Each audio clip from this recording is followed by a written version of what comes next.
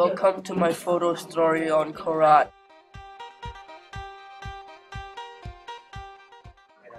Chickens are kept in cages that later will become food for the villagers here.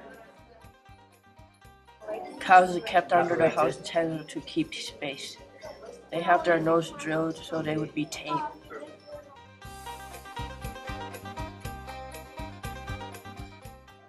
This is a traditional Thai guard dog designed to keep the house safe. This is a bird in a cage.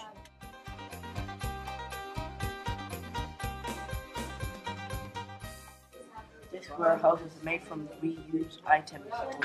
This house is lifted to prevent floods. This pile of wood will later become a bonfire. People in Ban Prasat believe in religions too. That's why they have these spirit houses.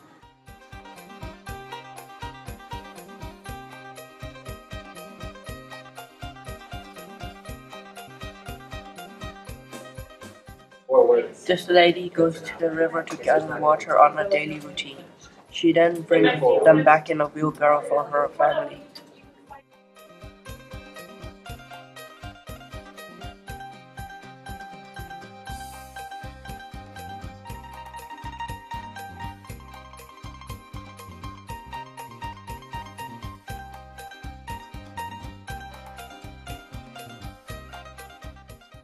The villagers need to make their own way by reusing items.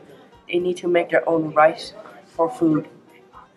They make their own clothing for protection from dirt and grime.